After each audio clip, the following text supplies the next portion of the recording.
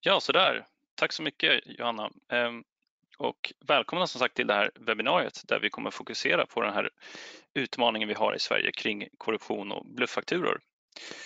Ehm, den här fredagen så har jag äran att ha med mig Alina Östling och Open Knowledge Sweden som kommer vara med oss och gästa.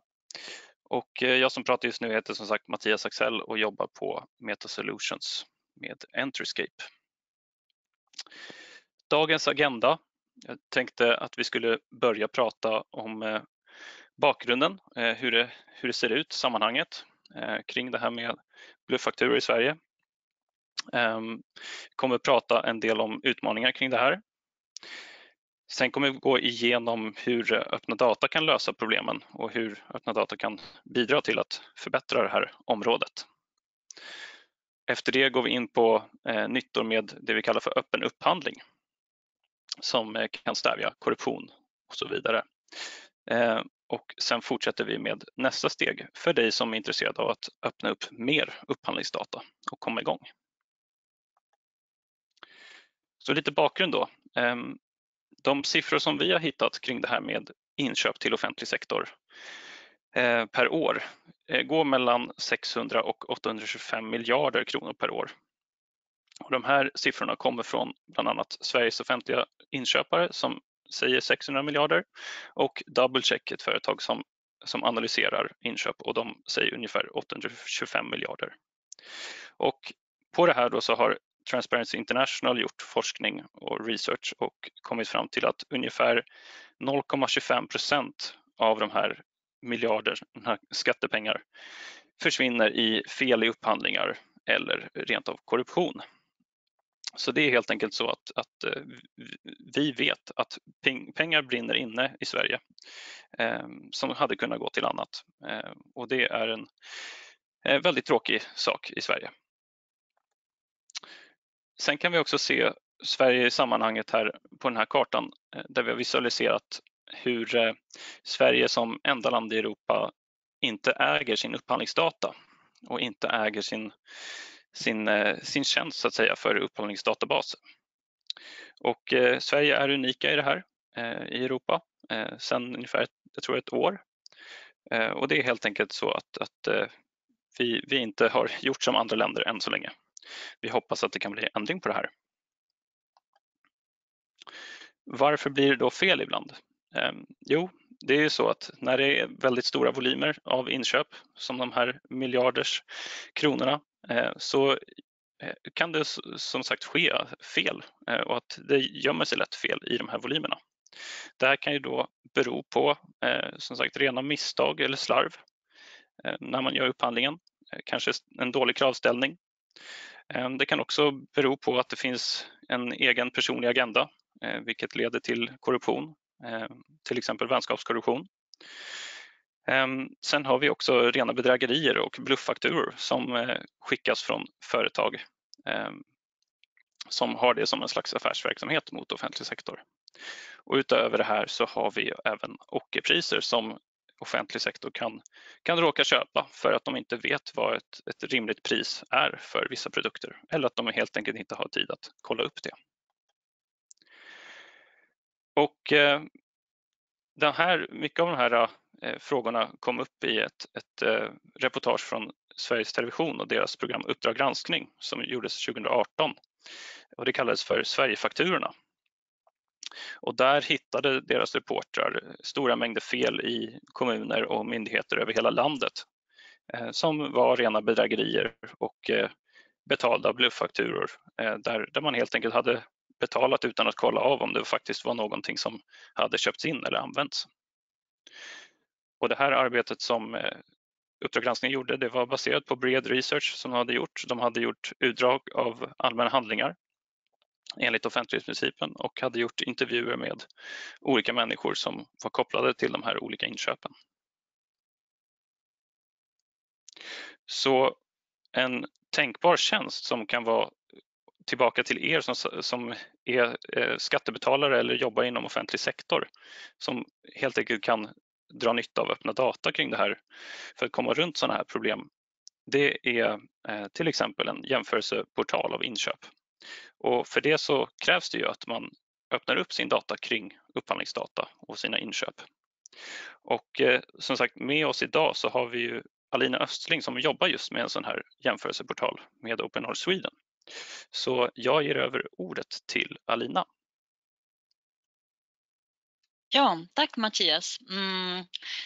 God morgon allihopa. Det, jag kommer från Open Knowledge Sweden och eh, vi har nyligen startat upp ett projekt för att stödja öppen upphandling i Sverige.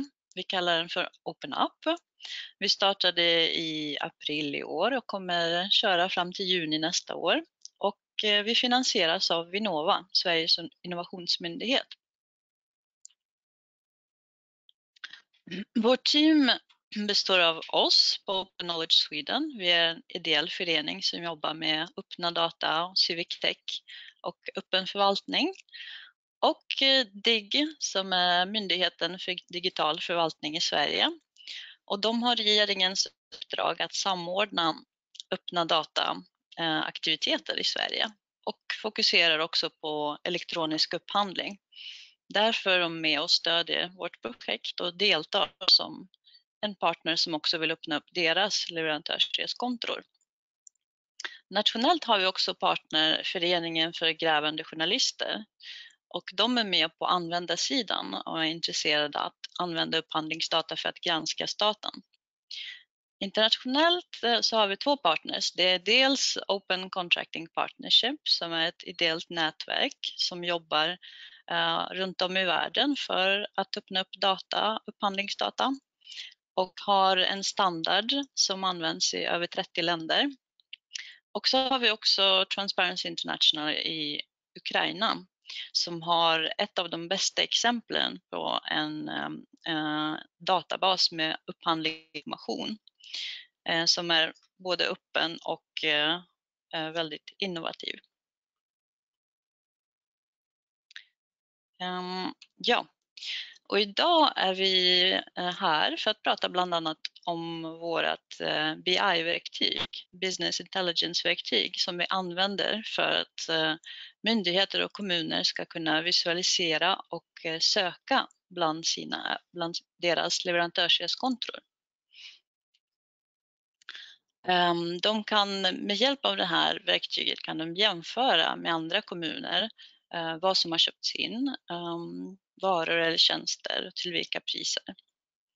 Nu eh, publiceras leverantörsreskontra ehm, av Göteborgs stad, Örebro och Umeå på vår BI-portal. Och vi vill gärna hjälpa fler som vill publicera inom ramen för vårt projekt. Så här ser det alltså ut ehm, konkret på vårt BI-portal. Det här är dashboard för Göteborgs stad leverantörskontra kontra ah, för, åren 2016 till 2020. Och högst upp till höger så ser ni hur mycket pengar som totalt har betalats ut till olika leverantörer. Sen eh, bredvid så ser ni hur många, många leverantörer som Göteborgs stad upphandlade av. Det är cirka 21 000 leverantörer. Och så ser ni också att det har varit eh, över 5 miljoner fakturor över de här åren. Nedan ser ni en graf i grönt på hur mycket pengar som betalas ut av Göteborg varje månad. Man kan också se eh, vilka förvaltningar som står för hur mycket inköp. Så till exempel eh, i den här pie Eh, Eh, grafen så ser ni att trafiknämnden står för över 8% av inköpen, lokalnämnden för över 7% och utbildningsnämnden ser för cirka 3 inköp. Sen kan man också se vilka typer av inköp som görs. Så till exempel kan vi se hur mycket som har spenderats på lokalhyror, över 4 miljarder kronor. Eh, hur mycket har spenderats på el, över en miljard kronor. Eh, och andra kostnader som transport, eh, ursäkta, konsulttjänster och så vidare. Ja, var, varför ska man då öppna upp sin data och eh, analysera den? Jo, det finns ehm, tre typer av nyttor för tre olika grupper som vi brukar tala om. Dels för offentlig sektor, dels för medborgare och dels för företag. Offentlig sektor kan spara mycket pengar och eh, göra ehm, sina system mer effektiva. Så till exempel har ehm, projektet NSÖD, Nationell skalning för öppna data, precis avslutat en studie om nyttan med att publicera leverantörskontra som öppna data i Sverige. Och de har um, funnit att man kan eh, minska den tid som läggs ner på förfrågningar av kommuner från olika företag, medborgare, journalister till exempel. Och stora kommuner kan spara speciellt mycket pengar. De uppskattar att Göteborgs stad sparar cirka 2 miljoner kronor per år på att öppna upp sin, eh, sina leverantörskontra. Och det jag tyckte var mest intressant med studien, att det inte bara är mer effektivt att publicera data, utan att de kommuner som redan publicerar, till exempel Göteborg och Lidingö stad, ser det som helt rimligt att publicera data. Och det är bara de kommuner som ännu inte publicerar som tycker att det finns risker med att göra det. Ja, NS, eh, den andra gruppen som också kan ha nytta av eh, öppna data är medborgare. NSÖD-studien fann också att eh, öppenhet och transparens eh, var ännu viktigare än ekonomiska vinsterna för de kommuner de intervjuade. Och mm, som ni eh, troligen redan vet så kan data hjälpa journalister att granska staten. De kan med hjälp av datan upptäcka korruptioner och oegentligheter och ha koll på vart våra skattepengar går. Ett exempel på det är mm, Bulgariens GP-gate som det kallades. Eh, det här hände några år sedan och det var en grupp journalister i Bulgarien som använde data för att undersöka missbruk av EU-medel vid upphandling. Med data om kontrakt och företagsägande så avslöjade de ett helt nätverk av olika företag och andra aktörer som manipulerade EU-finansierade upphandlingsprojekt som var värda hundratals miljoner. Som resultat av um, den här grävande journalistiken med hjälp av upphandlingsdata så stängde regeringen ner alla EU-finansierade projekt som drivs av GP-gruppen. Och Åklagarmyndigheten beslagtog cirka 14 miljoner euro. Den tredje nyttan är för företag. Ehm, öppna upphandlingsdata gör så att konkurrensen är mer hälsosam och rättvis. Och det hjälper bland annat leverantörer och eh, speciellt då eh, små och mindre företag att förstå marknaden bättre, att hitta möjligheter i offentlig sektor och att eh, göra bättre anbud.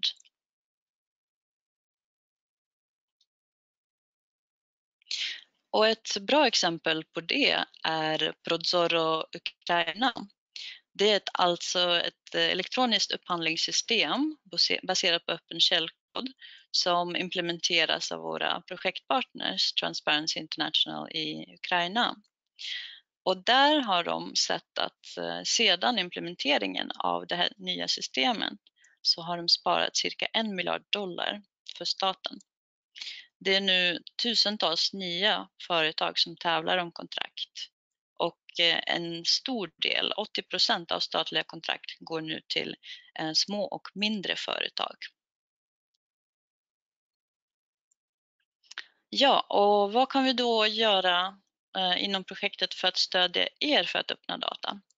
Jo, BI-verktyget har vi redan talat om. Det är helt gratis, det är öppen källkod och vi hjälper dig gärna att importera data eh, till det här verktyget.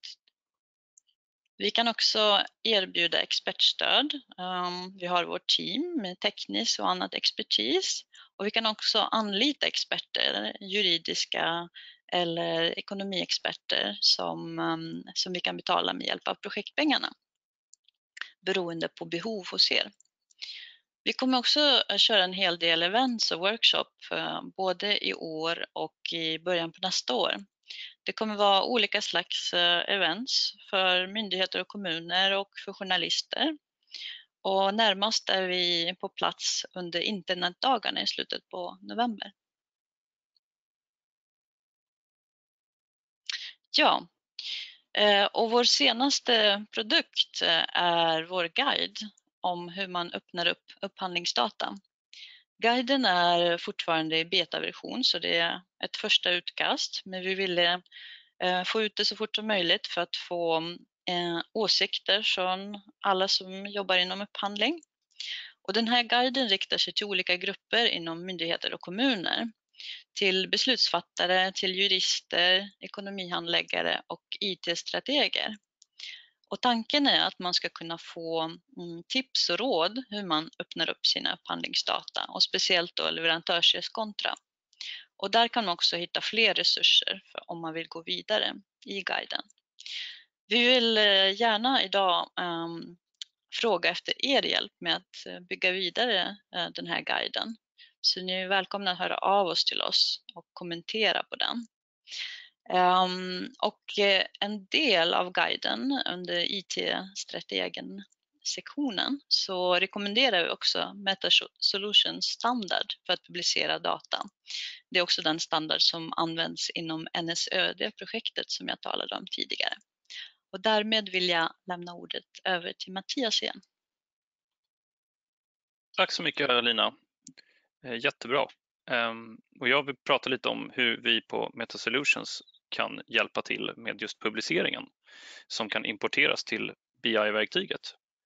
Ehm, så till exempel går det även att publicera via Entryscape Catalog till dataportal eh, i sin egen webb eh, men även skörda det vidare till den europeiska dataportalen och om man håller på med geodata så kan man även göra det.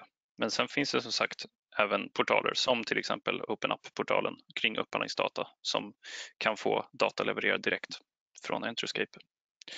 Ehm, det går även att dela datan internt för att till exempel kunna ha bättre intern koll på när eh, inköp görs eller upphandlingar görs. Så att det, det finns fördelar helt enkelt med att hålla medarbetare mer uppdaterade och informerade i, i de här processerna som är ofta väldigt svåra och krångliga. Och vi vill ju tacka de som har påbörjat resan mot eh, mer öppen transparens eh, kring det här med upphandlingsprocesser, bland annat Göteborgs stad, Lidingö stad, Örebro och Umeå. Så det är eh, väldigt viktiga framsteg i Sverige som vi behöver ta och göra här och det är jättebra att vissa har börjat. Det finns ju som sagt nya målgrupper med öppna data och det finns en, en hel del möjligheter Eh, med till exempel entreprenörer och utvecklare.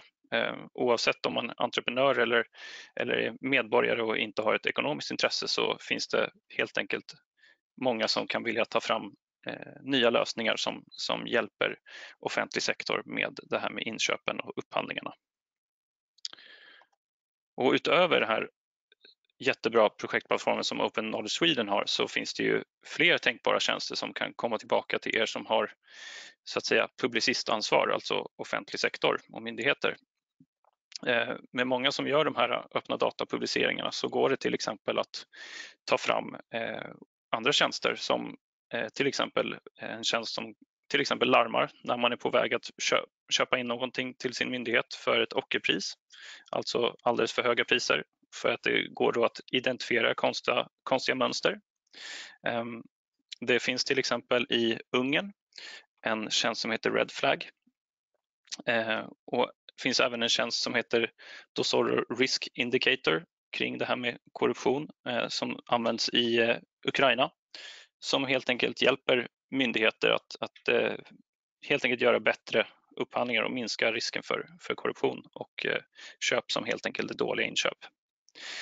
Sen finns det även möjligheterna med sådana här varningslistor som helt enkelt kan kopplas in eh, och man som offentlig sektor kan eh, få notiser om svartlistade leverantörer eller, eller till exempel leverantörer som har näringsförbud. Och utöver det här så finns det även en möjlighet att skapa analystjänster eh, som är just fokuserad på personkopplingar eh, till leverantörer som kanske har lite för nära band till människor som gör upphandlingar i offentlig sektor. eller, eller andra personer som helt enkelt sitter i en jävsituation. Alltså en slags vänskapskorruption.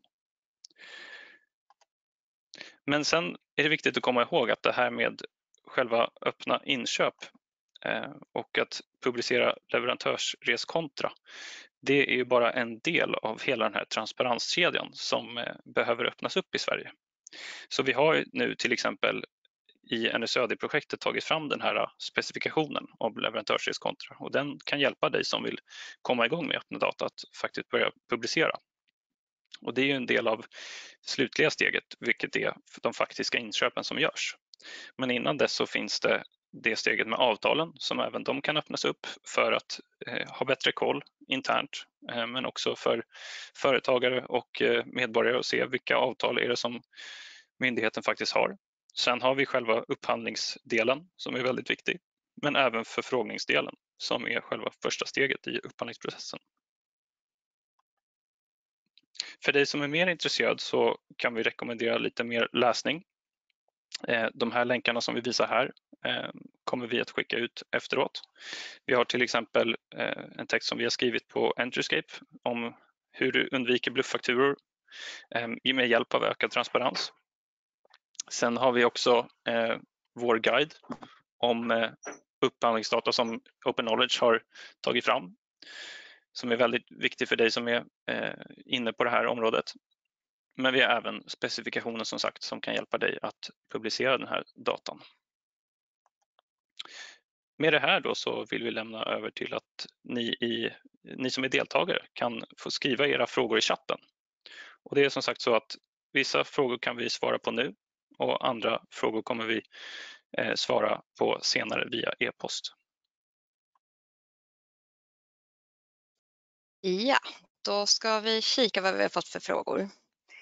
Första här, vilken slags expertis kan Open Up-projektet tillhandahålla för öppna data? Ja, det är Alina här. Eh, jo, som sagt, eh, vi har ju teknisk expertis. Eh, här i studien har vi också med oss Pierre Mesyr idag som är vår tekniska expert inom projektet. Så om ni har några tekniska frågor så kan han svara på dem redan nu. Annars kan ni alltid kontakta oss eh, efteråt. Jag, eh, Alina, är forskare så jag kan hjälpa er med analys av data bland annat. Och vi samarbetar också med Kristoffer Sjöholm som är före detta journalist och eh, han har ett stort nätverk eh, inom journalistvärlden. Och han kan ge tips på hur man granskar data bland annat. Så det är den typen av expertis vi har, men ni är välkomna att kontakta oss med frågor så vi kan eh, mer specifikt svara på om det är någonting vi kan hjälpa oss, er med eller om vi kan förmedla en kontakt. Tack för det. Då hoppar vi över till nästa. Vilka svårigheter finns det med öppna data? Ja, det kan till exempel vara så att det, det kan vara svårt att, att ibland eh, få ut eh, öppna data från stängda IT-system. Till exempel så kan det vara så att man sitter fast i ett ekonomisystem som är svårt att få ut data ifrån. Ehm, så det kan vara helt enkelt svårt att ha tillgång till sin egen data på ett maskinläsbart sätt och enkelt sätt. Eh, sen kan det vara så att man kan behöva till exempel få hjälp. Man kan behöva hjälp med att eh, tvätta data från personuppgifter.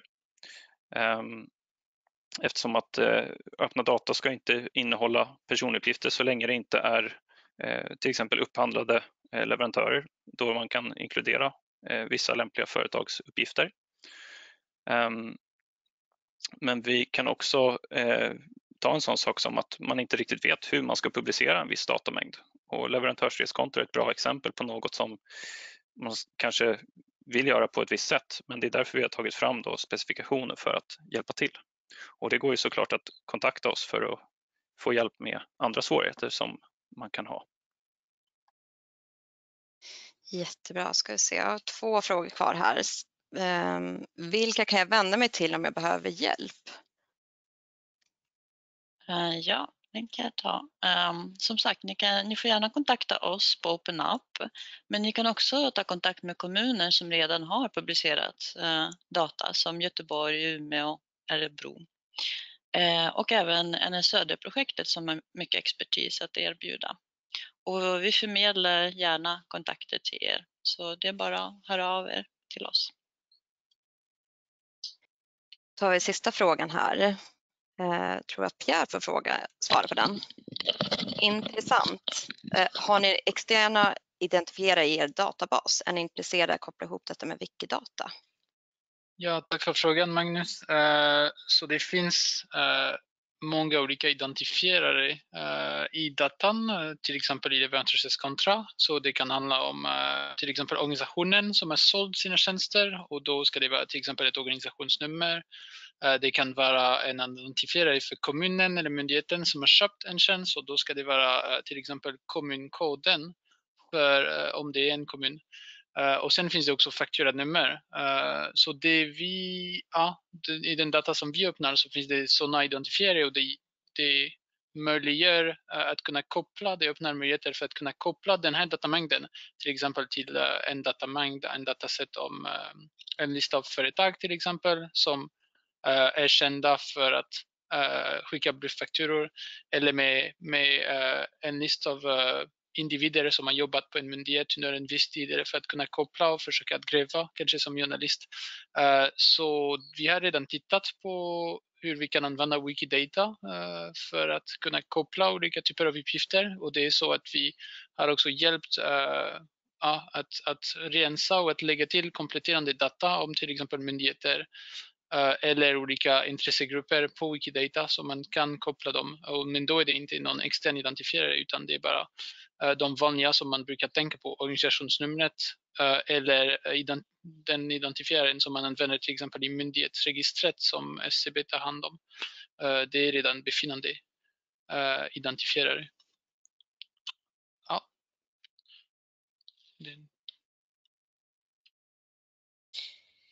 Tack för det. Det var de sista frågorna där. Ni kommer få en inspelad version av webbinariet nästa vecka Alina och Mattias, vill ni säga några sista ord? Ja, vi vill, vi vill tacka. Eh, tror Alina, du får börja. Ja, eh, vi tackar eh, Meta Solutions, Mattias, eh, för att vi fick vara med idag. Och eh, som sagt, eh, vi hoppas att ni hör av er till oss. Eh, och jag hoppas att vi ses eh, någon gång under hösten under andra av våra event. Tack! Och tack så mycket till eh, Open Knowledge Sweden som var med idag och tack till alla er deltagare. Ehm, ni är också välkomna in på vårt forum om ni vill diskutera vidare och eh, jag hoppas också att ni är med oss framöver. Arbetet fortsätter.